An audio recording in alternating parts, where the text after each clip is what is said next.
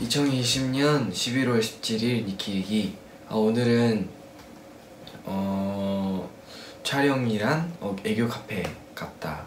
오늘 애교 카페에 처음으로 가봤는데 어, 사실 어제 어, 애교 카페 간다라고 그런 이, 그런 이야기를 듣고 어, 오늘 어제부터 설레하고 있었는데 어, 실제로 어, 가봤으니까 너무 어, 제가 애교 카페에 들어가자마자 너무 강아지도 많이 있었고 그걸 봤을 때 너무 귀여웠고 어, 사실 실제로 제가 어, 강아지를 키우고 있는 강아지를 키우고 있는 집이니까 너무 어, 약간 너무 오랜만에 강아지를 보고 너무 기분이 좋았던 것 같고 어, 사실 강아지를 보면은 뭔가 마음이 너무 편해 펴, 편해지고 뭔가 너무 어, 계속 힘든 것들 하다 보니까 너무 그렇게 어, 강아지를 보면은 역시 너무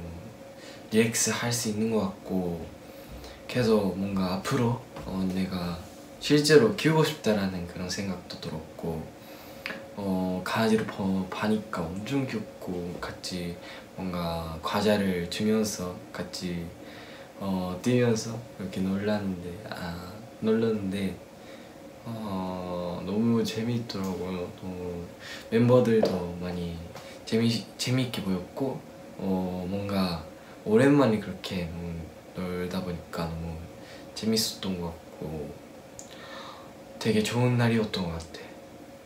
그리고 오늘은 뭔가 데뷔쇼 촬영을 해, 했는데 음, 강아지의 키를 어, 그 붙이고 어, 한 명의 어, 변명 변, 변 어, 뭐라고 될까 닉네임 닉네임 같은 것도 뭐 정해서 진행했는데 내가 실제로 강아지를 키우고 있다라고 어, 아, 방금 말했는데 그 강아지 이름이 어, 비스코라고 해요.